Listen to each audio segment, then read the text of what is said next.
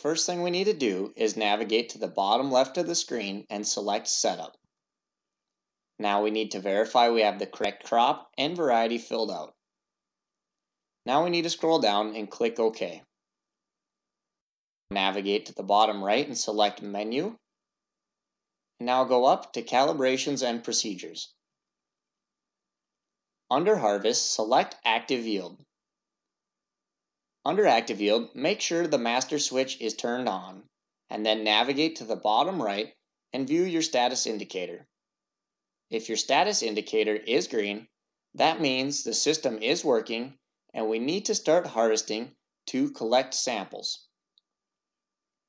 Our number of samples collected will be displayed here, and the time the last accepted sample has been collected will be right below that.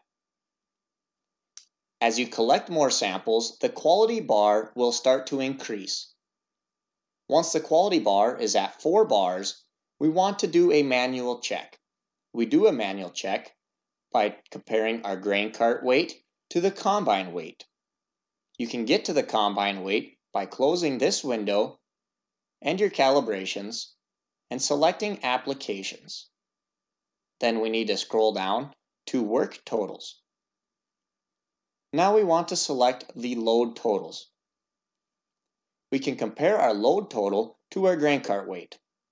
If these values are off, we can come back into machine settings and calibrations and navigate to active yield. Once you're in active yield, come to the top of the screen and select the up arrow with the dot. Most of the time you will not need a correction value, but if you do, this is where you can enter it. If you change varieties, or for some reason your crop totals seem to be off, you can always start by clicking the Reset button. The Reset button will clear all your totals that you have collected and it will start calibrating from scratch. That is all there is to active yield. If you have any other questions or concerns, make sure to get a hold of us at Leading Edge Equipment.